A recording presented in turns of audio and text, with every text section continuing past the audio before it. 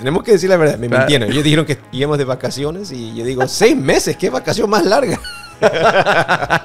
Mis problemas de inmigración fue lo que me llevó a la industria de entretenimiento. La lección más fuerte que mis padres aprendieron en este país es que el sueño americano no es para ti, sino para tus hijos. Pero es una comedia, entonces si quieren comprar el libro... Pero bueno, entonces en el libro van a poder reírse porque la vida es un... Esas cosas no se pueden hablar en el podcast. Y es el abogado del diablo, viste tú. Quieres saber más de ti. Y es por eso que hoy estás aquí.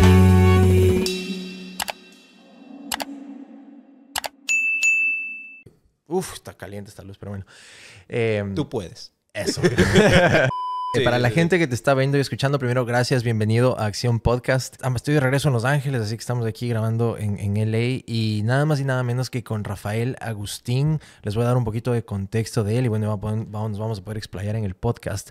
Pero él es nacido en Guayaquil, guayaco, Sí. ecuatoriano, pero a los, ¿qué fue? Siete, ocho años, ¿verdad? Siete años. A los siete años sale del país buscando un mejor futuro con su madre y su padrastro en ese entonces, a quien él llama padre. Y ya vamos a conocer un poco más también de su historia. Y nada, está aquí en Estados Unidos, en Los Ángeles, rompiéndola, está en la industria del entretenimiento. Vamos a conocer un poco más. Y también escribió recién su libro. Ahí, ahí vamos a ponerlo, ¿está bien? Ahí está, Pu. Sí, perfecto. Illegally yours. Ilegalmente tuyo. Así como cuando escribes una carta hecho el formal y dices atentamente tuyo. Bueno, ese es un Sí. witty, muy inteligentemente Sí, sí, le cambiaron el título a ilegalmente tuyo. Ya vamos a conocer por qué. Así que nada, Rafael, gracias por estar en Acción Podcast. Gracias por tenerme. Y le a la gente que te está viendo y escuchando de Ecuador, tal vez primera vez que te ven. Cuéntanos un poco qué haces y todo, todo sí, el sí. trayecto. Yo, yo soy un ah, escritor de series, de- escritor de televisión Ajá. en inglés. Entonces yo escribí una serie que se llama Jane the Virgin. Ah, he vendido varios programas de televisión en inglés. Acabo de, de escribir ese libro. Ah, y ahorita estoy trabajando como cineasta porque estoy desarrollando unos proyectos de cine. Ajá. Ah, entonces yo trabajo en Hollywood. am, vengo trabajando en Hollywood ya más de una década. Wow. Um, también era el CEO del Instituto de Cine Latino aquí en Los Ángeles. Hacíamos el, la LEAF, el Film Festival, the Youth Cinema Projects. Yo trabajé con Edward James Olmos, que es un, Uf, un- un casi nadie. bien reconocido- acá. Entonces, me, me ha ido muy bien, gracias a Dios, gracias a todos los um, esfuerzos y logros y sacrificios que hicieron mis padres para traerme a Sí. este país. Y muy honestamente, debo de decir que Agustín no es mi apellido. Ajá. Agustín es mi segundo nombre. Sí. Yo no uso mi apellido por dos razones. El primero es que mi padre biológico no fue el hombre que me crió, Ajá. mi padrastro fue. Entonces yo no uso ninguno de, de sus dos apellidos, pero más que eso, me fastidia, lo digo porque yo soy uno, me fastidia cómo el ecuatoriano le importa tanto el apellido que uno tiene. Mm. ¿Sí me explico? Y Sí. yo siempre digo, el apellido no me define. Ah, Y ¿eres yo- eres de los Zambrano de Eh, Cuenca, eh. ni sé qué, de ni sé dónde, que te empiezan a querer disecar Sí. con una lupa. Sí, Ajá, entonces yo ajá. dije, yo dije, ¿sabes qué? No quiero que nadie me juzgue por mi apellido. Yo solamente quiero que me juzguen por la persona que soy, por mis acciones y todo lo que he hecho en mi vida. Por eso uso mi segundo nombre como mi apellido. Ese sería tu stage name, tu nombre artístico Sí, es Rafael. Agustín. Sí. Sí, y de lo que tuve, de lo que pude ver en el libro, eh, Agustín fue el nombre que también, o sea, viene de tu padre biológico y él conoce a lo largo de su vida también que su abuelito no, o sea, no, era- no, no le tenía mucho cariño porque él fue el producto de un affair, de un romance. Eso ya, guay- guayaco, guayaco. Sí, sí. Guayaquil on fire. Pero, pero Agu- Agustín es el, eh, el nombre de mi abuelo.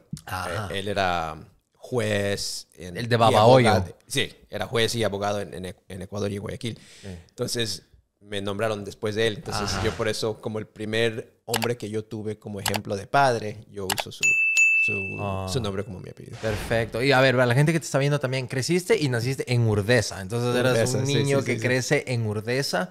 Y en cierto En momento... las monjas, creo que era. Wow. Sí, sí, sí. Sí, en, en Urdesa a mí me encanta porque yo viví en Guayaquil una época, pero ahí hay, hay un montón de shawarmas, hay un montón de restaurantes y unas cosas son, son ¿Tú deliciosas. te acuerdas de un lugar que se llama eh, El Manantial, creo? Claro, Ah, sigue ahí, para ir del Al- manantial y todo. ah, al lado de, de esa, de esa misma calle donde yo Ah, nací, donde bueno. viví. Súper, Sí. o sea, súper céntrico, súper movido. veas, para que veas. Ahí había un, hay un restaurante que se llama todavía Don Chuzo, que es Sí, sí me acuerdo, sí me acuerdo. Oh, my- el moros, Sí. los moros de lenteja, qué rico. Y si, y si, si la gente que todavía vive, vive en Ecuador y en Guayaquil, hay un creo que se llama un hue- hueco. Sí, la hueca, claro. Ajá. Pero que se llama um, La Nana. Ah. Ella ya es como, como familia mía. Y si- cada vez que voy a Ecuador, yo tengo que ir a comer donde La Nana. Es riquísimo Wow. el, el- el arroz con chuleta y la carne que hacen ella. A ver, vamos aterrizando un poco en materia, Sí, Rafael. sí, a ver, ¿cómo sales de Guayaquil? ¿Por qué sales? Yo, sé, pero no quiero dañar la experiencia, que mejor tú lo cuentes porque es tu historia. Entonces, ¿por qué sales de Guayaquil? Y, y ahora que también dices la parte, cada que regreso al país, entonces vamos- eso también te quería preguntar. ¿Si regresas a Ecuador de visita a ver a tu familia y todo? Sí, entonces cuando vinimos a, a Los Ángeles, a California, vivimos aquí juntos, mi mamá y papá y yo, por casi 12 años. Y a los 12 años ellos deciden de regresar. Una vez que ya me ven como adulto, ya tengo carrera, ya tengo mi propio negocio, ellos dicen, ok, voy a... Ahora estamos am, contentos de la persona que tú eres. Hicimos nuestra inversión y ya vamos a regresar. Entonces ellos regresaron y am, se fueron a vivir a, a Guayaquil como por San Borondón por un rato. Sí, oh, wow, ok. Sí, sí. Ah, y, y regresaron a ser doctores. Entonces, nuestra historia Claro, com- porque comienza... él es pediatra y ella es anestesióloga, ¿verdad? Claro, entonces mi mamá y papá eran doctores Sí. que se fueron del país por la economía estaba mal, la Ajá. política estaba mala, querían encontrar una mejor vida acá. Lle- Llegan a los Estados Unidos, se dan cuenta de que, oh, es más duro de lo que pensamos y más los, las licencias médicas no, Claro. no traducen. No puedes ejercer Eh, si es que no Entonces tienes tiene una que licencia. comenzar desde nuevo. Ajá. Entonces, yo siempre cuento a la gente, mira, mi padre era un pediatra, un cirujano pediatra, Pediatra, sí. perdóname, pediatric surgeon. Entonces era un doctor que vino a este país a trabajar en un car wash, a lavar carros. Wow. Y mi mamá lo mismo, es doctora, anes- anestesio- Anestesióloga. anestesióloga, que vino a trabajar en, en- como en un supermercado. Claro, en Kmart. Empezó en claro. Kmart, sí. Entonces esos son los sacrificios inmensos que hacen nuestros padres para traernos a este país. Eso es súper importante que lo pongas en contexto, porque ahora en, en el Ecuador cada vez uno ve las noticias y vemos la ola de migración y cómo salen por el Darién y por, y por arriesgan las vidas en Panamá o le dan 14 mil dólares a un chul, a un, es un chulquero. Se endeudan con el chulco with like those shark loans Oh, para pagarle a un coyote que les mete ilegalmente a los Estados Unidos. Y vemos unas tragedias, unas historias terribles, pero de ahí viene esta parte de la realidad como tú dices, o sea, aterrizan en los Estados Unidos y llegan pensando que, no sé, que van a poder hacer Sí. cualquier cosa, lo cual sí es ciertamente posible, pero en el caso de tus padres tenían una profesión, eran profesionales, entonces uno dice, ah, no, si soy médico, llego y trabajo de médico en los Estados Unidos. No, ahí empieza el tema de las legalidades y el tema migratorio que es muy, pero muy complicado.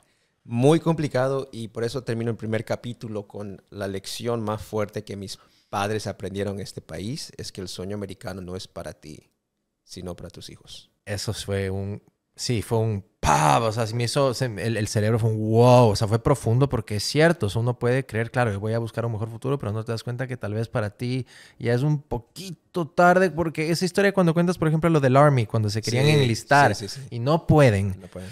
te das cuenta como que miércoles, ¿y ahora No, cómo no, y hago?". no podían porque son indocumentados. Correcto. Y el, el, ah, el, ¿cómo se el sargento que trata de Sí. enlist them, ¿cómo se de dice? enlistarlos, de- Enlistarlos. reclutarlos. Él no podía creerlo. Él decía, yo tengo dos doctores delante de mí que quieren ir a la guerra para pelear para los Estados Unidos, Ah. para ser doctores en las líneas de guerra, pero el país no lo no podían dejar. No, eso es increíble. Y también para meter un poquito más de contexto, cuando los padres de Rafael salen, salen con visa de turista. Claro. Salen con Rafael en el avión. Entonces a él le dicen de pequeño, bueno, esto va a ser por un momento, no te preocupes, tu traje de Batman, bueno, si quieres déjalo, no hay que llevártelo porque ya regresamos, mijito, no te preocupes. No, pero me mintieron. Tenemos que decir la verdad. Me Claro. mintieron. Ellos dijeron que íbamos de vacaciones y yo digo, seis meses. ¿Qué vacación más larga? claro, wow, están buenas las vacaciones de Yeah. seis meses. Y ahí viene una parte, Rafael, de tu vida que me identifiqué un poco porque a mí me pasó eso en mi adolescencia, eso de no, Mm. no asentar raíces en ningún lado, to be como que un nomad, como que boom, boom, Sí. boom, boom, salta y salta, salta de lugares. Y la situación Como es dijiste, no asentar raíces. no asentar Me raíces, encanta esa palabra. No Sí. asentar raíces. no dejar raíces en ningún lado porque llegas a, a tu primer eh, eh, barrio en los Estados Unidos que se me va- es- no es como Downey, pero suena algo así, es de- de- da- da- Danry, Um, the first place you live here in The the US. first place, el primer lugar donde Sí. vivimos se llamaba Walnut. Después Walnut. de Walnut fuimos a Duarte. Eso, Duarte. Ya, ya. Entonces, Duarte y, brincas del uno al Sí, otro, y Covina, y eh, Panorama, y tantos lugares. Sacramente, Thousand Oaks. sí, San- Thousand Oaks, todo. Eso de Doctor Ninja tenemos que hablar, estaba bueno. Pero Pero ¿cómo se sintió para un niño? O sea, en esos, en esos años que supuestamente son los años más formativos de una persona, en que uno desarrolla su personalidad y sus, por poco sus traumas de vida y sus cosas, y sus años más especiales, en esa inestabilidad, en eso de no saber qué diablos está pasando en mi vida. Ah, yo sigo li- lidiando con eso como adulto. A esta, a esta etapa de mi vida todavía estoy luchando con el- la idea de que está bien de, de asentar raíces, Ajá, sí. porque yo nunca lo he hecho y nunca me he sentido confortable, Sí, conforti- cómodo. cómodo, nunca me he sentido cómodo haciéndolo. Para mí lo normal es levanto mis maletas y me voy. Mm. Y siempre lo he hecho. Por eso, cuando estoy, estaba en gira cuando era joven, con una comedia, Ajá. cuando vas a una producción y, o vas a filmar, otro- eso, para mí eso es normal. Lo que no es normal es quedarme calmado, sentado en, un, en una casa por más de un año. Mm. Y eso todavía son cosas de terapia que todavía estoy tratando de... Trabajando. A work in progress. You, you get it. You get Sí, it. sí, sí, por supuesto que sí. Y de ahí, para la gente que te está viendo y escuchando, dicen, ok, como este niño que llega indocumentado a los Estados Unidos trabaja con lo que acabas de decir en Jane the Virgin y está también en el Festival Latino de Cine Sí. y es como que alguien established en la industria en los Estados Unidos del entretenimiento. O sea, eventualmente tienes que haber conseguido tus papeles y legalizar tu situación, pero ¿cómo viene esta, sin spoilear el book para que también se enganchen y lo compren, pero ¿cómo viene esta transición? Pero primero tienen que comprar el libro. Eso es de ley. Porque está en inglés y en español. Ah, ¿lo hiciste en español? Sí, en español. A ver, em, Eh, pónchame, Gianni, por favor. Ahí, Illegally Yours, y también lo pueden encontrar en audio en Audible, en Amazon Yes. también. Y en español se llama, se llama Ilegalmente Tuyo, la comedia de mi vida. Wow. Sí, sí, sí. Um, entonces, pa- para mí, muy honestamente, mis problemas de inmigración fue lo que me llevó al- a la industria de entretenimiento. Porque yo, mis padres querían que yo fuera doctor. Claro, y más ellos. mi abuelo y mi padre biológico son abogados y jueces. Claro. Entonces, o leyes o medicina era mi, mi futuro. Pero cuando yo me graduó de la secundaria y yo, um, en ese momento era como el presidente de la escuela, era el, el rey del baile, to- todas las cosas. Eh, y cuando yo me graduó, mejor dicho, antes de graduarme, me doy me entero de que somos indocumentados. Yo sabía que éramos inmigrantes, no sabía que éramos inmigrantes indocumentados. Mm. Pero no es cuando, hasta, hasta ese momento de la secundaria aquí en este país, cuando tú tienes que comenzar a manejar, o, o- o Claro. estás buscando un trabajo, o más importante, tienes que ir a la universidad, es cuando yo me doy cuenta, oh, yo no puedo hacer nada de eso porque no soy legal.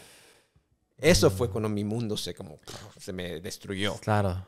Pero gracias a Dios que en California hay el sistema de Community College. Mm. Community College es como colegio público Sí, para gente sin mucho sin recursos. eh, eh. Entonces yo llego ahí deprimido porque yo debo de estar en Harvard. Claro, obvio. Pero fue en Community College a donde yo comienzo a... Porque no sé cuánto tiempo voy a estar. No sé cuánto tiempo voy a tener estos problemas de inmigración. Y comienzo a tomar todas las clases que el Community College tiene. En orden alfabético. Hermano, ya, A for Anthropology, B for. Biology. Sí, así, así, ta, ta, ta, ta. Hasta que llego a T de teatro Wow, el último. tomé todas las clases que había, llego a una clase de teatro y no sé por qué, pero me encantó. Y creo que me Mm. encantó porque yo estaba buscando validación. Sí, sí, sí, Estaba bu- 100%. sí, estaba buscando como el... ah, La aceptación de los demás. Eh, Sentirte querido, valorado, eso. apreciado, en- visto. y como la forma más fácil de encontrar eso es actuando y tener la recepción del público. Ajá. Y eso es cuando me, yo dije, yo tengo que hacer esto. No sabía por qué. Ajá. Ahora, que, lo, ahora que me doy cuenta por qué lo hacía, en ese momento yo dije, no sé por qué, pero quiero hacer esto. Wow. Um, y fue en, haciendo teatro que comienzo a, a encontrar una nueva industria que nunca fue común para mi familia ni para mis amigos ni nada.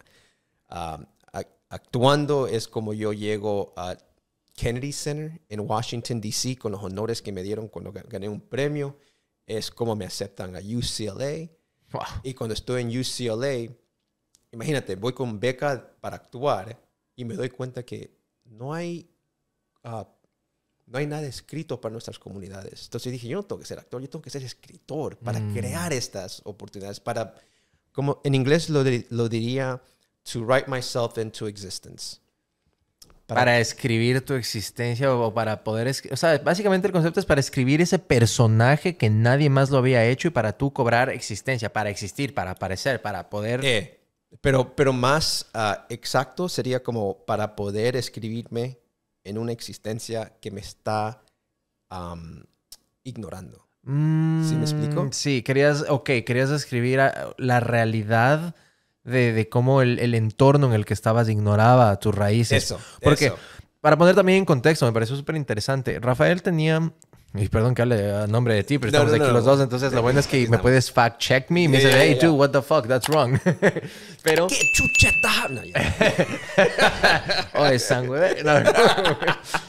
so, Rafael tenía un amigo negro que se llamaba Rodney. Y jugaban básquet en, en- en- en la secundaria, en el colegio. Y justo en Los Ángeles vino una época de los riots, de las huelgas, de las manifestaciones que iban a incendiar Los Ángeles Sí. porque la policía agrede físicamente a Rodney King y lo asesinan y- Sí. y muere. Entonces la ciudad se levanta Oh, y, no muere, pero ¿te acuerdas que fue? am, y Natasha Harlins creo que se llama. A ella sí la matan. sí. Ella No, sí. e- ella sí, pero él, a él no. Eh, ¿Te acuerdas que él fue al hospital y estuvo bien mal hasta que salió? Entonces hay una, una revuelta social, como Sí. lo que pasó hace no muy poco con, con George Floyd, por ponerlo en contexto. Claro. Y de la nada se da cuenta que su amigo Rodney dejó de hablarle, le- ya no caminaban juntos del colegio a la casa. Uf, sí. Y, y fue ese quiebre. Entonces ahí él dice una parte en el libro que me quedó loco. Dice, me di cuenta que en este país es todo entre blanco y negro. O sea, entre los blancos y los negros y cualquier cosa que esté en el medio, no existimos. Exacto. ¿Cómo, cómo se sintió eso? Mira, lo, lo lindo que tiene este país es que tuvo como las la- esos movimientos de derecho- ¿Sociales? sociales, de derechos civiles para las, las mujeres, para los afroamericanos, para las minorías, que no ha tenido Ecuador. Entonces, imagínate, yo, un chico de privilegio que, mira, puedo ser blanco si quería, con un, un tan, very brown and nice, olive tan, pero yo pensé que era un gringo, como decimos, yo pensé que era un chico de privilegio blanco en Ecuador y vengo a este país a darme cuenta que no, eres una minoría. Y eso, eso era un shock a los siete años. No, sabía qué significaba eso. Pero a lo que comienzo a desarrollar en este país, me doy cuenta que yo, yo tengo más, am, más cercanismo, tengo más ah, asociación. Más apego. no solamente apego, pero tengo más como am, en common. Ah, ¿tienes más cosas en común? Tengo más cosas en común con las minorías de este país, Ajá. con los afroamericanos, con los, ah, las- los asiáticos, los, los otros latinos de otras partes, como los mexicanos, los centroamericanos, que a los gringos. Y eso era algo que yo no podía entender. No sabía qué era, no sabía qué era esa, división. Y no fue hasta los riots de, de- de Rodney King, que era como en 1992, yo era una criatura, um, que me doy cuenta que en este país solamente se habla del blanco y el negro y nosotros en el medio no existimos. Uf, y ahí también te tocó lo de OJ, seguramente. Claro, todo eso a ese mismo momento, Claro. en esa misma temporada. Sí. Me, me- me da. ¿Cómo puedo decir? Cuando yo escribí ese, ese capítulo del libro, la, los- la cantidad de latinos que me escribieron a decir, me encanta cómo hablaste de, del racismo y de raza Ujú. que no, nunca se habla en nuestras comunidades latinas. Y me, me- escribieron a decir gracias por a tocar el, el tema que Sí. para nosotros, oh, no es nuestro tópico, no podemos hablar de Es como un eso". tabú, sí, de Eh, lo que no se puede hablar. Órale.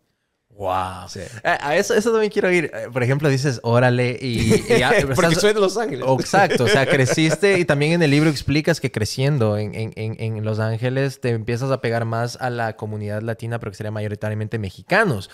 Entonces, Pero no solamente eso, tienes que entender que en Guayaquil, cuando teníamos fiestas, mi abuelo siempre contrataba mariachis. si era la, la- la- la fiesta de mi abuela, o un Pedro cumpleaños, Fernández, lo que Vicente sea. Fernández, Entonces yo llego a Los Ángeles, un ecuatoriano a los siete años, y yo escucho a mis vecinos mexicanos tocando mariachi, y yo voy y le toco la puerta, oh, a ustedes también le encantan los mariachis ecuatorianos. y me dice, ¿de qué estás hablando? Yo, "No, los mariachis no son de Ecuador. No, y ahí te dicen, "Eh, no, son de México. Y no solamente eso, sabes que después, cuando era adulto, me- ah, yo leí que el primer país a donde salió el Chavo del Ocho, Ajá. when they started syndicating, Sí. el primer país era Ecuador. No, el Chavo del Ocho es como una religión. Por en eso Ecuador, te digo. claro. Entonces yo, Sí. con mariachis, con el Chavo del Ocho, Chapulín Colorado, yo pensé que esas cosas eran ecuatorianas. Yo sé que eran mexicanas. No, y pasa bastante. Yo, yo que estoy acá todavía cuando converso con la gente o cuando vas a un casting o cualquier cosa y te escuchan hablar, dices, ah, eres, de- eres del DF, eres mexicano. digo, no, no soy de México. Y pasa con un montón Eh, de gente de Ecuador sí. que piensan o asocian que somos mexicanos. Y una vez me fui en un loop mental ahí diciendo, pero ¿por qué carajo sonamos a mexicanos? Y parte de mi conclusión Sí. fue lo que tú dices. Fuimos criados o educados de cierta manera con la televisión mexicana, las Sí. telenovelas del Chavo, Sí. Chapulín Colorado, Chespirito, etcétera. Entonces tenemos ese habladito muy telenovelesco Sí. de Televisa. Sí, sí, sí. Por ahí va la cosa. Y sin embargo, a, a muchos amigos mexicanos de México que le encantan la música, ellos, sin embargo, le encantan a Julio Jaramillo.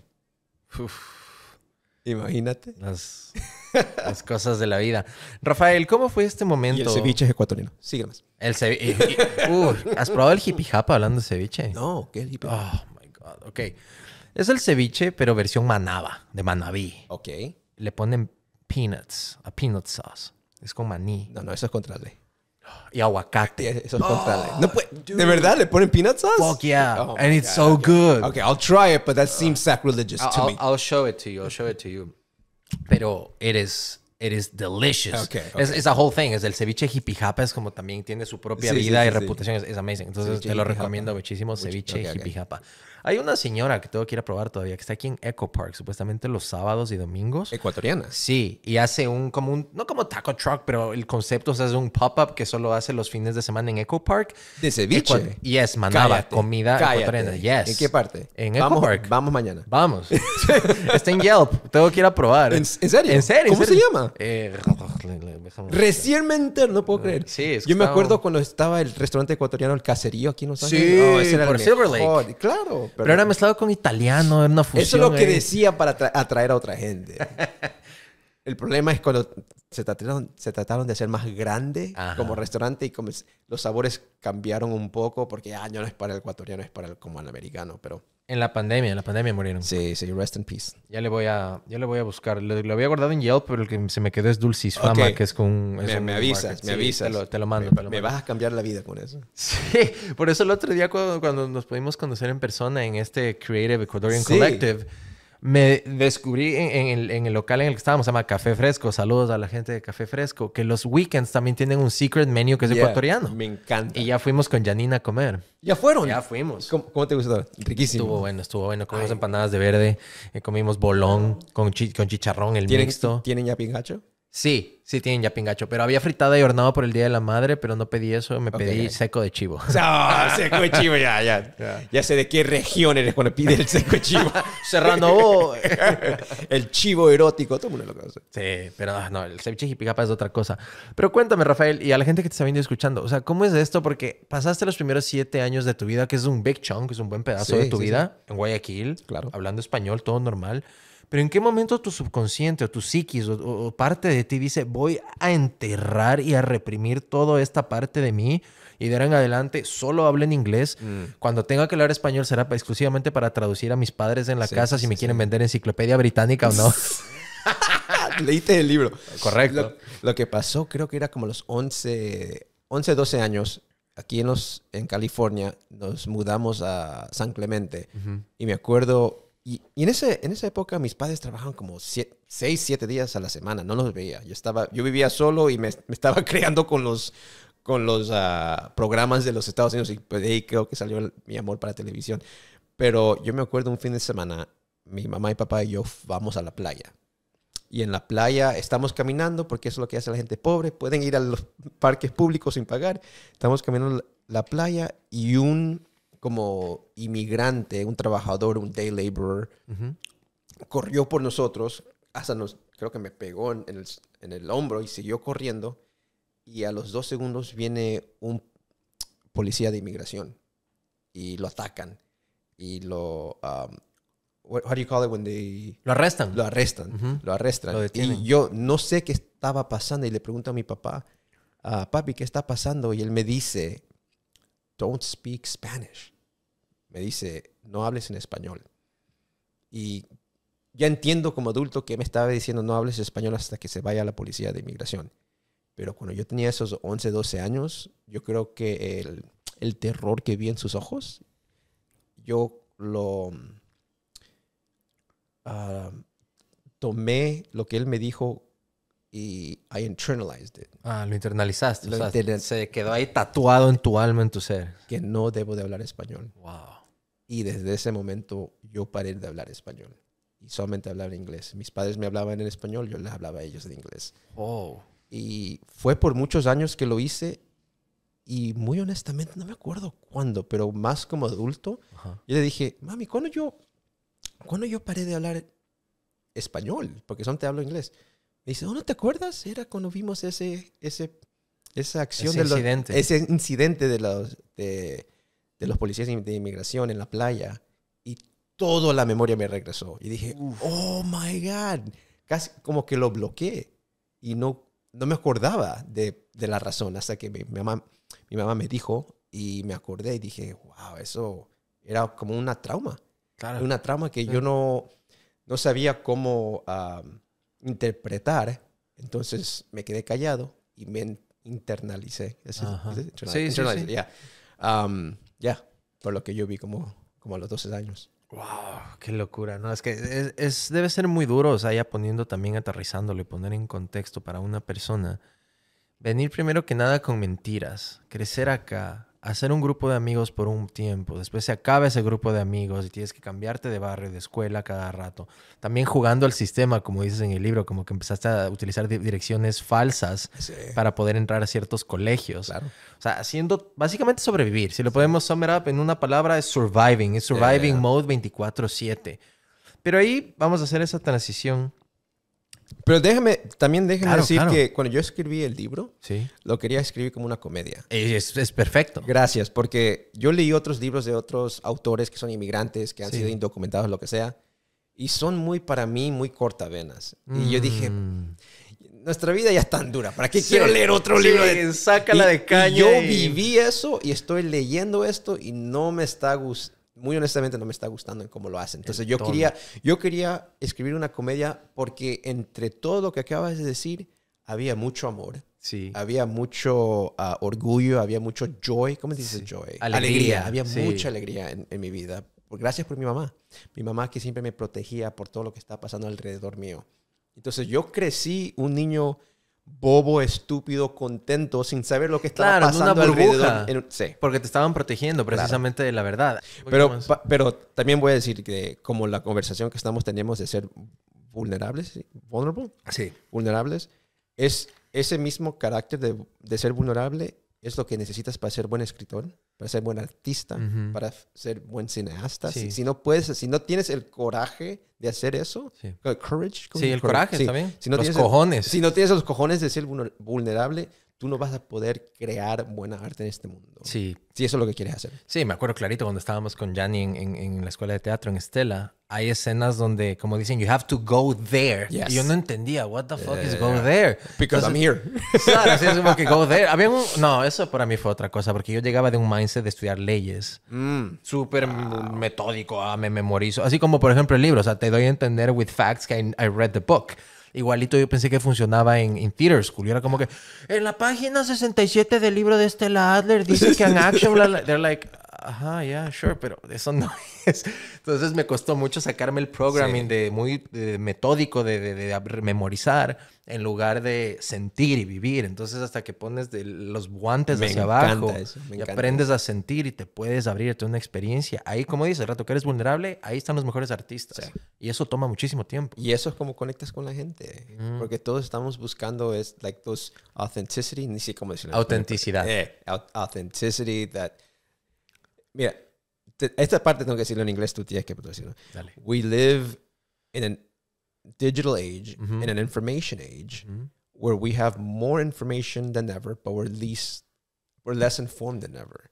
We have social media that allows us to be more connected than ever, but feel less connected than ever. Uf, profundo. Sí, vivimos en una época digital en la cual tenemos un- demasiada información y tenemos un exceso de información y conocimiento, pero al mismo tiempo eso hace que nos conectemos de verdad con las personas que importan. Es como dice, con el teléfono estás más cerca de esa gente que sigues, pero te hace más distante de la persona que está al lado tuyo. Exacto.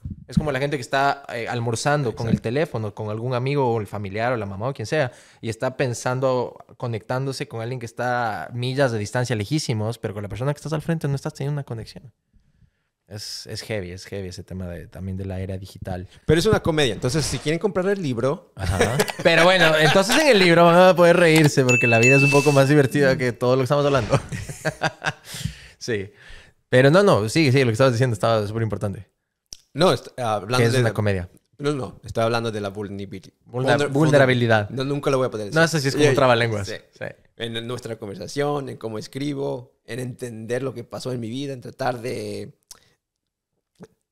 Estoy tratando de entenderlo y lo hago públicamente porque Ajá. yo sé que no soy perfecto ni quiero ser perfecto. Correcto. Quiero ser lo mejor que pueda hacer, pero yo sé que no, nunca voy a ser perfecto. Hay algo que viene también de la mano de lo que estás diciendo de la comedia. Eh, puede ser que de cierta manera el contar tu historia aquí y plasmarla en estas páginas fue una especie de desahogo y de catarsis, pero al mismo tiempo la comedia es ese instrumento que Robin Williams o todas las personas que vemos que son the goats of comedy o los stand-up geniuses, muchos de ellos tuvieron que enmascarar ese dolor a través de la comedia. ¿Pasó en tu vida también de esa manera?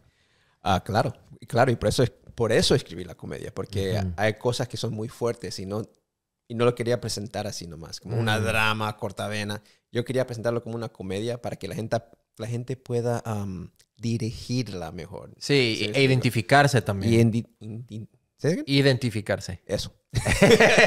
La- la- las dos cosas, las dos cosas.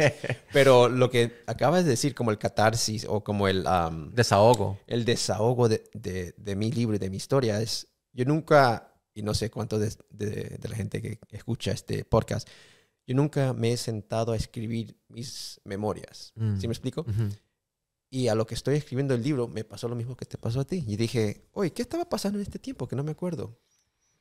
Y a lo que escribí el libro comienzo a encontrar que las historias que me contaron como niños no eran verdades. Mm. Y eso ya era para mí, era, Claro, te toca volver a reescribir tu historia. Era recontra heavy, hermano. Wow. Eso era así, era recontra heavy. Entonces, es como todos los, ah, ah, the building blocks sí, los, la- la- los cimientos, la fundación. eh, de lo que hace mi identidad, Ajá. la base, hay muchas mentiras. Claro. Entonces, todo se me estaba cayendo mientras yo estoy tratando de escribir este libro. Como un castillo de naipes, Eh, como un exacto, castillo de arena. exacto. pff, se desmoronó todo. Entonces, la- la- el mejor consejo que yo puedo dar es reflejen en su vida, comiencen a, aunque no van a escribir un libro, a lo mejor sí, comiencen a, a- a entrevistar a sus padres, a sus abuelos y preguntar, ¿qué pasó en esta temporada de mi vida cuando era niño? Porque te vas a dar cuenta que muchas historias que creen que son verdades, a lo mejor no son. Y si sí son, qué bien, te, te felicito. Como una, pele- como una película de Iñárritu por poco. Ahí a los amores perros. Eh, hay te- diferentes exacto. Exacto, exacto.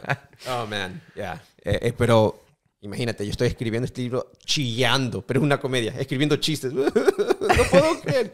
Pero así me la pasé por, por nueve meses. ¿Cuál es la diferencia como escritor, Rafael, eh, entre tener que tener esa vulnerabilidad de la que estábamos hablando y contar, eh, exponer los trapos sucios de cierta manera de tu Mm. familia, de tu historia, de tu vida, versus escribir mm, para Jaime Camil el personaje en Jane the Virgin, que es así todo out there y súper extravagante? O sea, ¿cuál es la diferencia entre esas dos cosas? Ah, para mí es lo mismo, porque aunque estás escribiendo para televisión, para un personaje como Jaime Camil, siempre tienes que preguntarte qué está abajo de lo que estás escribiendo. Siempre tiene que, there's always something deeper. Y, y eso siempre decíamos en el cuarto de escritores, like, what's the deeper? Like, estamos hablando de esta historia que de, pasa, Jane va de esto a esto, pero ¿qué es lo que realmente está o sufriendo, tratando de mejorar? What's the deeper? So that, that, that to me is the same. Eso es lo que es, lo que es igual. Siempre estás tratando, aunque es una comedia, estás tratando de ver qué es la cosa abajo de todo que estás, um, que estás uh, Intentando comunicar. eh, epa. Y para escritores, eso siempre es el, el um, theme. El tema, El ajá. tema. Entonces, cuando, mira, te lo hago fácil.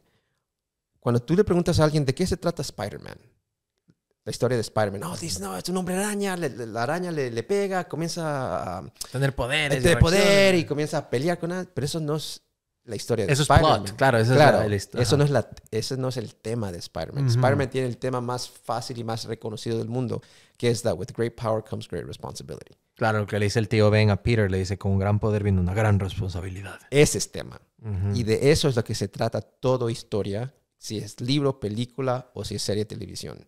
Y si tú no tienes un tema, no estás escribiendo de, no estás escribiendo de nada. Entonces, de- para mí eso es lo mismo. ¿Cuál, es- ¿Qué es lo que está pasando a Rogelio en este capítulo? ¿Qué es el tema? Ese es the- eso es lo que es the- que yo llamo el the- what's the deeper. Ajá. Wow, súper interesante. O sea, claro, es para, para no quedarse en la superfici- pues, superficialidad, en algo que es como que solo la punta del iceberg. Van hacia adentro y ver qué es realmente lo que está moviendo a ese personaje. Tal vez quiere el amor, tal vez quiere la aceptación de Exacto. su hija, tal vez quiere reivindicar su Sí. pasado, dejar de ser Exacto. Superficial o lo que sea que era ese personaje que era lo máximo. Y es un show con mucho corazón. Sí. ¿Cómo logran? Eso a mí siempre, por ejemplo, tú debes saber, de hecho, tú sabes, eh, a mí, a mí siempre con las comedias o con shows así me, me cuesta entender cómo hay un equipo de escritores, un staff, de Sí. writer's room, Sí. y de la nada veo, sea Succession, The Office, whatever, drama, comedia, lo que sea, tiene diferentes escritores que el, el escritor de ese episodio, pero yo digo, ¿cómo el escritor de turno de ese episodio puede comunicarse o hablar como un Dwight o como un personaje Sí, o sí, como sí. un Rogelio o como una Jane? Si es que es otra persona la que le está escribiendo, ¿pasa por un filtro donde todos los escritores le van trimming el episodio, editando, o es esa persona la que escribe de principio a fin todo el capítulo y punto? Ah, las dos cosas. Mm. Y más cuando tienes un personaje bien definido, se escriben ellos mismos. Mm. Pero tú tienes que definirlos muy, muy bien y entiendes cómo ellos actúan en cada, cada escena. En, en a writer's room son como 10 escritores cada, cada temporada. Wow. Entonces son, son muchos. Am, pero por eso en cine y en televisión tienes a dos diferentes personas que están en control de todo. En cine, el cineasta y el director es el rey o reina de ese medio. Sí. Porque es un am, es un, am, una experiencia visual. Correcto. Por ellos, ellos son rey y reina. Pero en televisión, el escritor es el rey o la reina, porque es un medio ah, escrito. Sí. Sin embargo, Sí. por eso, y el showrunner sería. por eso te iba a decir. Ajá. Entonces, en televisión, el showrunner es la persona más importante, porque Claro. solamente el showrunner sabe a dónde va la historia. Mm. Entonces, cuando tú estás en un cuarto de escritores trabajando en una serie de televisión, es menos de, de lo que, como digo, tú das mucho de tu parte para realizar estas historias, pero lo, tu trabajo principal es de ayudar al shower realizar su, su visión. visión. Eso, eso es todo. Entonces, cuando yo estoy en ese cuarto, yo digo, ¿qué es lo que quiere Jenny? Jenny Mm. Snyder Erman era la showrunner de Jane the Virgin. ¿Qué es lo que quiere Jenny para esto? Entonces, estoy tratando de escribirlo en su voz o en su mente o lo como ella Ujú. quiere. Muy honestamente, ese es tu trabajo en un cuarto Y de en, el, y en el show, en el, en el The Writer's Room, el cuarto de los escritores, todos tienen como que el mismo, o sea, todos son writers, no hay uno que es el chief writer, nada, o sea, No. uno de los 10. y- No, no, no. Hay un, hay un hierarchy. Sí, hay, hay jerarquía. hier- hay una, hay- ¿cómo dice? eh, jerarquía. Hay una jerarquía dependiendo en cuántos años tú, los, tú lo estás haciendo. Mm. Entonces, es como el ejército, básicamente. exactamente Ok. lo mismo. Por suerte, todos estamos juntos y Ajá. todo es bien, um, Colaborativo. bien colaborativo. Ajá. Todo el mundo habla, pero al fin del día tienes al El ex- chief, executive producer, you have a co-executive producer, you have a, uh, a producer, an associate producer, co-producer, uh, executive story editor, story editor, staff writer. Wow, son un montón de filtros. Muchos, muchos, muchos niveles.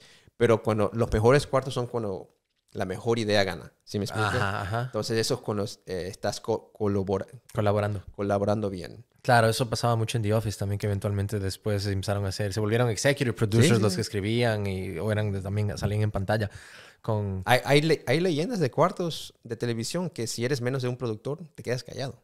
No te, dejan- no te dejan ni Wow. hablar. really. Sí, pero ya está cambiando mucho porque está, está cambiando mucho la industria de, de Hollywood en cómo debes de incluir a voces que nunca han sido escuchadas. Wow. Es, so, you know, as you diversify, Sí. you also diversify the systems. Súper interesante todo eso, eso, esos insights que nos cuentas un poco, qué es lo que está detrás de, de la industria. Esta es una pregunta que, que me, me- me la dijo que sería muy interesante y la quiero Sí. atar con lo que dijiste de, del theme. Eh, eso es algo que en Stella Adler me costaba mucho también entender, porque repito, o sea, mi cabeza no entendía un poco de storytelling y todas estas cosas. Entonces, para entender theme, uf, me demoré como dos años entender que era un theme. Y me acuerdo que la profesora de ese entonces nos ponía ejemplo, por ejemplo, de Dark Knight. Mm. Entonces decía Limits, Master Wayne, que para ella ese era el theme de esa película, Mm. Limits. Entonces, pu- cualquier persona puede decir que el theme es diferente para ellos, pero a lo que voy con eso es que esa película, ahí es como lo quiero atar contigo, esa película fue la responsable en la que yo diga, wow, yo quiero actuar, porque el rato que vi a Heath Ledger haciendo de The Joker, Sí, sí, sí. yo estaba viendo eso en Que el no cine. tenía límites. Sí, también. Eh. y dije, wow, eso es posible. Una persona puede transformarse en eso y hacer. Dije, wow, no sé, me voló a la teja. y dije, yo quiero actuar. Entonces ahí empezó mi curiosidad. Pero, ¿cuál fue para ti ese? Yo pensé que fue estar en la oficina de Oliver Stone, pero ¿cuál fue esa película? ¿Cuál fue esa película que te dijo, "Mm, esto es lo que yo quiero hacer? Oh my God, qué buena pregunta. That's a good question. Um, ¿Cuál es la película? Desde que era joven, yo siempre me perdí. Mira, yo muy honestamente me, me doy cuenta de que cuando venimos a este país y mis padres trabajaban todo el tiempo, Ajá. el único tiempo que pasábamos juntos como familia era al fin del día sentados viendo televisión y viendo una película. Entonces creo que me enamoré de películas Mm. sentándome con mi mamá y papá pensando, me imagino, en ese tiempo, yo quiero hacer la cosa que les da, les da Que los haga orgullosos. no solamente que le da orgullosos, pero que la hagan felices. Mm. Esa es la única felicidad que tenían en ese momento, que estamos luchando para salir adelante de este país. Estaban contentos viendo una película por la noche. Mm. Entonces, creo que eso eran los, las, esos eran los años que yo dije, oh, yo quiero hacer películas, porque yo quiero hacer a mis padres contentos y quiero que, quiero que estén orgullosos de mí. Oh, O sea, asociaste el medio con los Sí. mejores experiencias y recuerdos de tu, de tu infancia y Sí, creciendo. Siempre sí. era viendo una película. Y eso ya se identifica mucho con Jan. Interesante. bueno, Ok. Hola. no, entonces interesante porque, digamos, para ti no era tanto cuál era la película o qué era No. el tema de la película, No. era el efecto que tenía Sí. en tus seres queridos, Sí. en tus papás. Sí, me acuerdo, la película era como Terminator 2. o, o Robin Hood, Prince of Thieves con Kevin Costner. Creo que eran esas películas, pero era menos la película y más ese sentido que tenía con mi familia juntos Mm. por la noche viendo- viéndolas. El bonding, claro. El bonding, ya. No, y bueno, con Terminator 2, si es que leen el libro, también fue donde empezó a experimentar con su cuerpo, Rafael. Esas cosas no se pueden hablar en el podcast. con Linda Hamilton ahí. No, qué loco. Y también lo del Tower Records y la, revista. ¿no? Eso, eso es esa cosa serio, hermano. Sí. Eso antes, de- antes de internet. Sí, Los claro. chicos de día nunca van a saber qué tan duro lo tienen, qué tan duro lo teníamos. No, pero eso es otra conversación en sí. Esa exposición a la porno digital y todo eso está Y- dañando el cerebro a un Así montón es, de así gente. es. Sí. A ver, hay otra cosa que ya para empezar a ir a, a- a- a encapsulando un poco más de cosas, Rafael. ¿Cómo, cómo crees, o sea, viendo en retrospectiva, en toda tu vida, eh, que ha sido ese, de cierta manera, fracaso favorito que tuviste, en revés, tropiezo, la palabra que le quieras poner, que a la larga set the stage for a later success? O sea, que te- Oh, I love that. Yo me acuerdo, hay un director aquí en los Estados Unidos que se llama Robert Rodriguez. Casi nadie también. Él, él una vez dijo en una charla que yo vi, yo aprendí más de mis fracasos de Mm. que mis logros. Entonces les deseo a todos ustedes muchos fracasos. yo, yo me quedé con eso y dije, wow, that's so true. Para mí, um, he tenido, obvio que he tenido mucho, especialmente en Hollywood, pero uno de los más grandes es cuando decidí de contar mi historia en una obra de teatro. Entonces salimos y comencé a ir a gira en todo el país, como 40 y 46 estados. Hicimos esta gira nacional. Y después una un estudio quiso desarrollarlo como serie de televisión. Entonces en es- yo tenía como 20 y pico de años y dije, aquí es, este es mi momento. To- es basado en mi vida, es todo lo que yo he hecho estos últimos años. Este va a ser mi gran introducción a Hollywood nos dieron dinero, hicimos un pilot, lo, lo filmamos, hicimos la producción.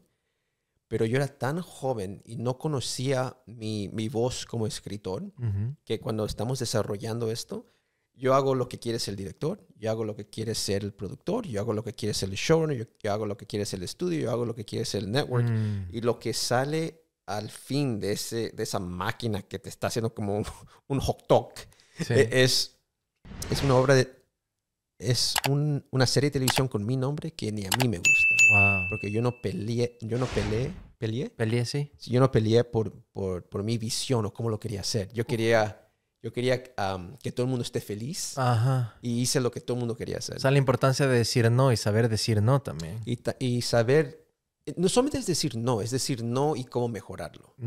Porque decir no es fácil. Pero decir no y decir, oh, pero es que tengo una idea mejor. Ajá. And bring something to the table. Correct. Ok. a- Correct. agregar valor. Am, pero yo no, yo ni decía eso. Yo, yo, dec- yo decía sí, sí, sí, sí, sí, sí, sí, sí, sí. Entonces sale una serie que sale como un Frankenstein que, Sí. que yo- ni yo reconocía. Wow. Y cuando el canal decidió no vamos a continuar con esto porque no funciona, yo entiendo. Yo, yo lo entendí muy bien porque ni, ni a mí me gustaba. Pero eso era como mi lección de Hollywood que aprendí bien, bien joven, que ah, success, ¿cómo se dice success? Éxito. Éxito tiene muchos padres, Ajá. pero un fracaso es un orfano. ¿Un orphan? Huérfanos. Huérfano. Entonces, un éxito tiene muchos padres, pero un fracaso es un huérfano. En ecuatoriano aterrizado, claro, todo el mundo se quiere subir a la camioneta cuando alguien es exitoso y le está yendo bien, pero cuando te va mal y te das de culo contra el piso, nadie te regresa a ver, estás solo. Nadie se quiere hacer responsable de los fracasos. Mira, eso es, básicamente. eso es lo más guayaco que te he escuchado. Ah, exactamente. Y eso era una lección para mí, pero lo que sucedió de eso es que yo dije, ¿sabes qué? Yo no quiero fracasar en esta industria por las decisiones de otra gente. Mm. Si yo voy a fracasar, quiero fracasar por mis decisiones que no, no fueron buenas. Entonces, desde ahí comencé a escribir un, um, un- eh, en inglés se dice como un TV pilot. Un piloto de televisión, sí. Comencé a escribir un piloto de televisión y lo escribí como yo quería hacerlo. Mm. Y eh, eh, había un programa viejo que se llamaba The Wonder Years. También había un programa que se llamaba como Blackish, Fresh Off the Boat. Yo quería hacer un programa de televisión de mi familia. Ajá. Y yo dije, lo voy a escribir como lo quiero escribir, nadie me va a decir nada. Y si no pasa nada, no pasa nada. Entonces lo escribí y fue ese guion que me hizo un Sundance Fellow. Porque, porque en el Instituto de Sundance ellos eligen los mejores es- guion- guionistas y guiones um, que no han sido pro- ah, producidos y te dan como una, es como una beca. Sí. Y ellos me eligieron. Y cuando me eligieron es con- como conseguí mi agente de Hollywood, ah, cómo pude entrar a ser escritor en Jane the Virgin. Vendí ese programa de televisión, fue la primera venta que yo tuve en Hollywood. Y todas esas cosas me salieron porque yo decidí de hacerlo de mi manera y no de la manera de otros. Wow, súper importante lo que dices. Y para la gente que está viendo y escuchando, que tal vez no conozca un poco de estos términos, o escuchen Sundance y eso y lo otro, para ponerles en contexto. Sundance Film Festival es el, uno de los eh, festivales de cine más prestigiosos del mundo a nivel independiente, que fue creado por Robert Redford. Sí. Una vez que ya se retira, bueno, crea el Sundance y todo. Pero de ahí han salido un montón. O sea, gana- por ejemplo, ganar el, el, el favorite de, mm, eh, choice award o whatever de, de la audiencia. ahí. O sea, ganar cualquier, o, o solo que el, el festival te elija en una de tus películas, te pone un badge de, de, de- prestigio a tu proyecto. Y ahí es donde va el who is who de la industria a ver los proyectos, diferentes Sí. cosas que pasan. Entonces me hizo con un poco como Smilf, que, que lo vimos. Eh, se me va, es un show, Sí, estaba sí, en sí, sí. Showtime. Ella lo hizo en, en Sundance, igual le compraron el short y después hizo el show, el, el- el- el show y todo. Y es, es loco como... Es bien ese- pri- pri- privilegi- privile- privilegiado. pri- es bien privilegiado. Sí. Quentin Tarantino sale del Sundance Institute. Ryan. Coogler sale, sale Ah. del Sundance Institute. O sea, casi nadie. Por eso. Entonces, cuando ellos me eligen como un fellow de ese año, todo el mundo me comenzó a... Esa es la palabra que está en español no encuentro. El fellow. ¿Qué sería un fellow en español? Lo más cercano... Como un socio, como un... Sí, pero lo más cercano es como una... Te salió una beca, pero digo, es más que una beca, porque cuando te eligen como un fellow, es como decir... Como de entre peers. Creo, no estoy seguro. Pero tampoco sé la... Hay dos palabras que no sé en español. Uno es fellow, porque lo he buscado, Sí. y la otra es hiking, porque tampoco lo he buscado. Sí, claro, yo digo, me voy a caminar, le digo a mi familia, me dicen, ah, ok, sí, hiking, o sea, es como trotar, tampoco es Yo tengo el papá de una amiga que... ella- ella- ¿Dónde vas? Voy hiking. ¿Qué es eso? Es cuando vas caminando en la montaña. "Pi- ¿Pero por qué? Entonces él siempre le llama, eh, mira, estoy con el perro hiking. Estoy hiking. Entonces cuando va caminando dice que está hiking. Pero no es eso. Entonces esas dos palabras no sé cómo traducirlas. Pero un fellow es como de... Es Sí. como una beca, pero más, es más de una beca porque te eligen como tú eres la persona que nosotros pensamos es el futuro de la industria. Wow. Eso es lo que es. Uf, o sea, es una responsabilidad. Ahí sí mismo, volviendo a lo de la responsabilidad, Sí. Peter Parker style, es una responsabilidad tremenda, pero de cierta manera lo has hecho. O sea, you've paid your dues and you've given back in a way, porque eras el presidente también del Sí, festival sí, sí. y siempre estás pendiente de la comunidad latina y siempre estás inmiscuido de un montón de maneras. Entonces, I think que te sientes como que, ok, yo también he retribuido and I given back to people. Y, y eso es muy importante porque yo me di cuenta, por lo menos en mi vida, que mi carrera no comenzó hasta que yo comencé a dar. Mm. Yo recibía mucho al principio, o estaba, estaba tratando de recibir y no me, no me movía mucho en la carrera. Una vez que yo decidí de dar más de lo que yo recibía, todo salió adelante para mí. Wow, Sí. qué loco. No, no, te lo- no sé cómo explicarlo, pero es muy honestamente lo que me pasó. Sí, a veces dicen que es así, uno le regresa por días cuando Sí, uno empieza a dar sí. desinteresadamente. Rafael, ¿cuál crees que son esos tres hábitos tuyos que son los mayores responsables para tenerte en donde estás el día de hoy? Ah, Oh, wow. Um, hábitos como, what are your habits? Sí, productive habits o... Ya, ya. Sí. Um, desde que era muy joven, um, yo comencé a trabajar tiempo completo desde que tenía 14 años. Porque quería apoyar a mis, mis padres en la casa. Entonces yo era el responsable de... I bought the DVD player. Like, si me Esas cositas chiquitas yo, yo hacía para la familia. Entonces yo era estudiante tiempo completo y tenía un trabajo tiempo completo porque mentí de mi edad. Tenía 14 Wow. años y yo le dije que tenía 16 o 17. Ok. I was working under the table. Ajá, hay un capítulo que se llama así en el libro, Under Sí. the Table. Entonces, desde bien joven, yo aprendí de tener dos trabajos tiempo completo. Que, Que fue la mentalidad de tu padre, porque él decía que él Exacto. era así. exacto. Él, él leyó un panfleto, un pa- pamphlet. Sí, panfletos también. Él leyó un panfleto de una, de una organización que estaban apoyando como la comunidad Ajá. de inmigrantes y latinas donde vivíamos y ellos le dijeron que siempre debes de tener como dos trabajos para poder sobrevivir una un, un recession, Ah, una, una, recesión. una recesión económica, Porque una si- crisis. Porque si pierdes un trabajo, tienes otro trabajo. Mm. Y mi padre siempre se quedó con esa idea. Siempre necesito tener dos trabajos en este país. Mm. Y él lo tuvo, siempre. Fin de semana tenía un trabajo y lunes a viernes tenía otro trabajo. Y eso se, me, se quedó conmigo. Yo comencé a los 14 años y tenía dos trabajos tiempo completo porque era un estudiante tiempo completo. Cuando me voy a universidad, cuando hago todo lo que hago, siempre tuve esa idea que tenía que tener dos trabajos tiempo completo y me di cuenta que eso fue lo que me ayudó a tener una carrera en Hollywood. Porque si tú vas a tener una carrera en Hollywood, está bien si eres rico o si tienes a padres que te pueden mantener. Pero gente de nuestra comunidad que no tiene eso, tenemos que seguir trabajando para mantenernos. Y muchas veces tenemos que mantener a nuestras familias también. Entonces yo encontré cómo hacer eso.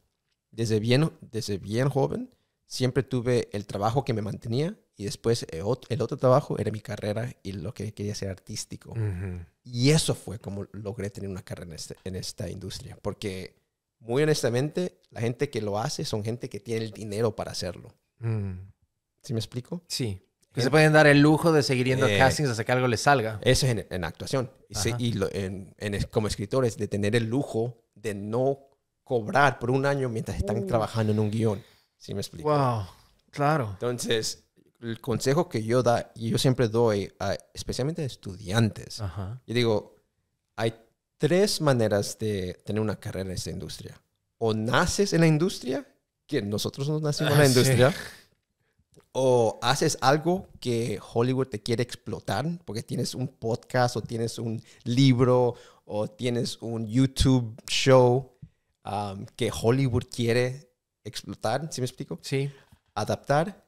Y la, o la tercera cosa es, tienes que trabajar. Y tienes que trabajar bien fuerte. Consigue un trabajo, cualquier trabajo en una producción y anda al camino que quieres. Porque una vez que ya estás trabajando, ahí puedes ver, quiero ser escritor, quiero ser productor, quiero ser director. Y ahí comienzas tu camino allá. Pero eso fue lo que creo que me, am, me ayudó a estar donde estoy hoy, porque siempre tuve dos trabajos. Wow. Es, es una locura y, y no, se lo, no se lo recomiendo a nadie porque es muy duro, pero, pero no es imposible. Claro, no. Ahí es cuando viene el, el, el, el grit, o sea, la, la resistencia y seguir ahí, ahí. Y de cierta manera también es un test para saber qué tanto quieres algo, porque si al medio las cosas se ponen color de hormiga, se ponen pesadas y feas, y a la primera dices, ah, es porque, ah, que tal vez no estabas tan interesado, pero si es que tienes que tener dos trabajos y dale, y dale, y dale, y escribe guiones, y escribe guiones, y escribe guiones, y, ah, sí, tu piloto nos encanta, lo vamos a hacer, y después seguramente vas a tener unos 3, 4, 5 que murieron ahí y los pusieron en un shelf, Exacto.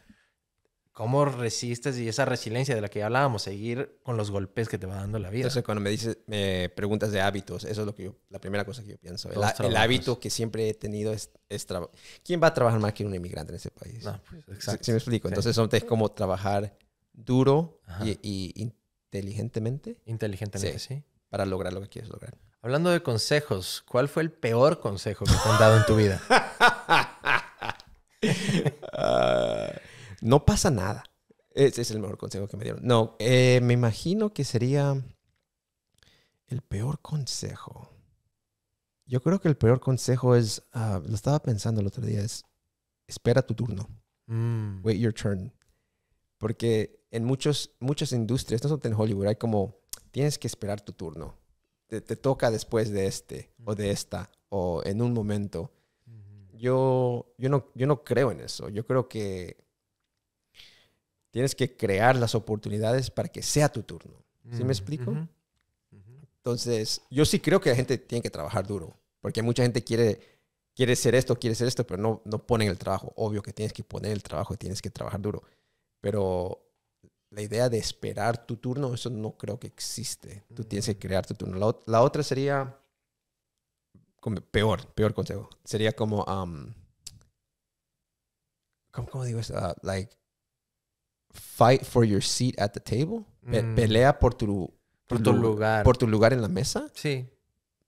Que suena como buen consejo, pero para mí yo diría, ¿por qué no simplemente creas tu propia mesa? Mm, ¿Sí me explico? claro. Yo creo que eso es, es, es una mejor, ah, un mejor consejo de que, que te den un, un lugar en la mesa. No, Sí. a, la, a- a la mierda. Yo, yo creo mi mesa y tú vienes a mi mesa. Ajá. Así, es, eso es la manera que yo pienso. Y va de la mano con algo que le escuché también decir a Eugenio Derbez, una de estas charlas que es como la de Robert sí, sí, sí. Rodríguez y eso. No fue sino hasta que él dijo a la mierda, me creo mi propia película y Eh. yo me casteo y que se llama No. Strings Attached, creo, de- una niña que, que todavía tiene el récord de más dinero hecha en el box office por una película en español. La de la niña, la no se aceptan de Eugenio. Derbez. Wow. Número uno en los Estados Unidos. Fue un mega hiper Sí. hit y al hecho que ahora hasta el día de hoy estuvo, bueno, en Coda y en Sí, Radical y un montón de películas que uno dice, wow, Derbez está pero ya bien established acá. Y fue Pero, eso. pero no era.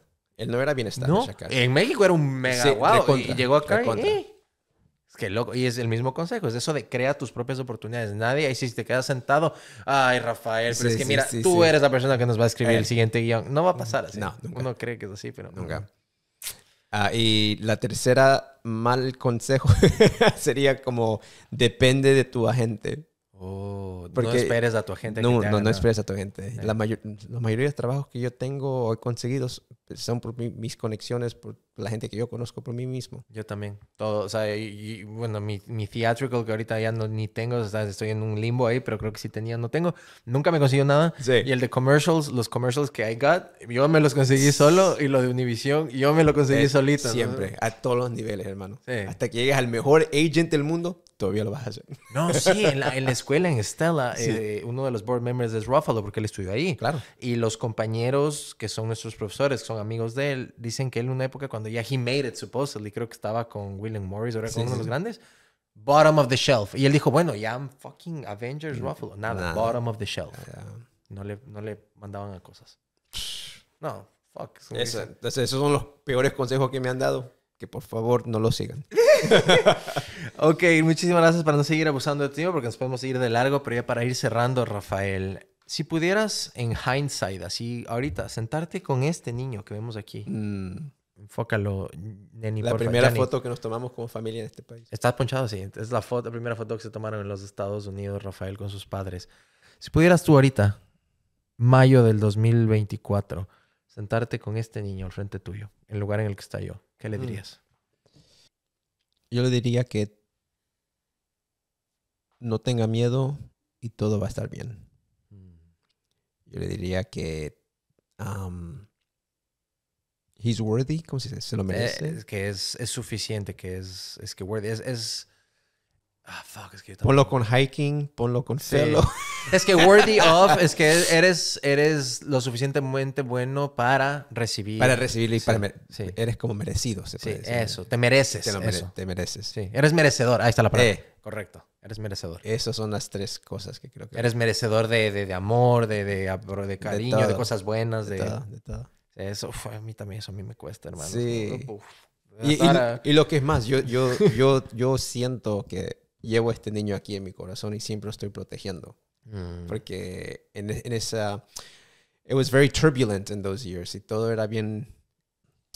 te- como digo, tenía mucha alegría, pero todo era bien desconocido. Tenía Ujú. mucho miedo de lo que estaba pasando, no entendía, nos movíamos mucho, ¿sí me explico? Sí. Entonces todavía lo llevo en mi corazón y lo trato de cuidar mucho. Oh, no, y gracias, gracias por compartir un poco de eso, un poco de, de- de tu historia, de tu niñez, de tu Yeah. vida, por ser vulnerable y abrirte con un completamente desconocido.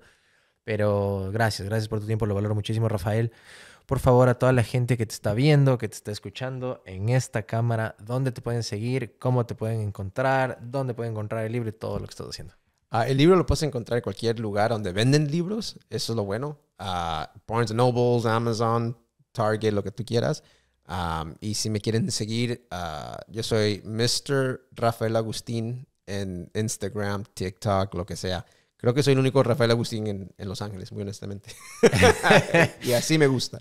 Ah, Perdón, no puedo dejar sin preguntarte esto. ¿Qué se viene ahora para Rafael Agustín? What's after the book? ¿Qué- ¿Cuáles son los siguientes proyectos? ¿Qué está cocinándose o es algo que no puedes decir todavía? Ah, no puedo decir, pero lo, lo, lo que sí te puedo decir brevemente es que estoy trabajando en unos proyectos de cine, que estoy muy, muy ah, emocionado de eso. Y estoy desarrollando el libro, hacer de televisión. Estoy bien emocionado de eso. Y mi, mi publisher quiere que escriba otro libro. Entonces tengo que pensar cuál es el segundo libro. Vale, ¿cuál es el ya. sequel de Rafael Agustín? Pero va a ser, quieren una novela ahora. ah, ficción. Ficción, ficción. Wow. Ya. Eh, why not, right? Ya, en eso estoy. Wow, interesantísimo. Muchísimas gracias. Y eso también no te quería dejar de decir, porque la, la vez que te conocí te, te hice una pregunta que, que me parece importante compartirle a la gente. Fue, ¿qué te hace feliz? ¿Qué es lo que a Rafael Agustín le hace feliz? Y me Sí. dijiste, mi abuelita y mi madre. Sí. Cuidarles a ellas Sí. y verlas sonreír. Así que veo que eres un hombre de familia. Yo también, mi mamá y mi abuela son como... Yo tengo tres mamás, mi tía, mi mamá y mi abuela. Entonces ahí también dije, wow, this dude is like me in a way. Entonces, un abrazo a tu abuelita, a tu mamá y tienen un, un hijo y un nieto increíble. Um, déjame enseñarte que no te enseñé. Cuando me pidieron que haga la dedicación. Sí, la dedicatoria. La dedicatoria. Se la hice a mis dos violetas. Oh, Mi mamá y mi abuela. Ahí están, a sus dos violetas. Yo tenía ángeles. un año ahí entre las dos. Eh, sus ángeles Continuamos Los juntos los, Ángeles. tres. Está ella acá ahora, ¿verdad? Sí, vive en Los Ángeles conmigo. Sí, wow, sí. increíble. Claro, y le, le- le pudiste dar el, cumpliste el sueño de mucha gente que es darle una casa a tu madre. Sí. así que, respect, dude. Thank you, my brother. Keep, keep kicking ass. Keep, thank keep you. at it. And thank you for having me. Gracias a todos ustedes Gracias. por estar con nosotros. Nos vemos la próxima. Chao, chao. Chao. Gracias por ver este podcast. Si es que te gustó, dale like y suscríbete al canal así sabes cuando suban nuevos episodios. Aquí te dejo otro podcast que seguramente te va a gustar y si quieres irte de largo, un playlist con todos los episodios de Acción Podcast. Que estés bien, nos vemos la próxima. Chao, chao.